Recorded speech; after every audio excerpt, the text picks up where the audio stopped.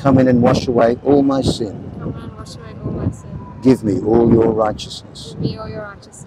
I believe you died for me I believe you died for me, and that you rose again. and that you rose again. I give you my life. I give you my life. I turn away from my sin. I turn away from my sin. And according to your word, And according to your word, I am now born of your spirit. I am now born of your spirit. In Jesus' name. In Jesus' name. Amen. Amen. Okay, now that might just seem like a simple prayer. I won't keep you long. Jesus said something really important. The Father has now placed you in the hand of Jesus. It's so important. And Jesus says, once you're in my hand, nobody, not even yourself, can ever pluck you out, can ever snatch you away. Yeah. That's the security. Understand? So it doesn't matter what happens from here, you are safe. And remember who's making the promise. Not me, not Yeah. even you. The same God who created heaven and earth, everything in it, who cannot lie, promises you. Yeah. Says you're safe. All right? Thank you. So I've just got a book for you. This is the Gospel of John. yeah. And thank listen, do you. you have a phone today?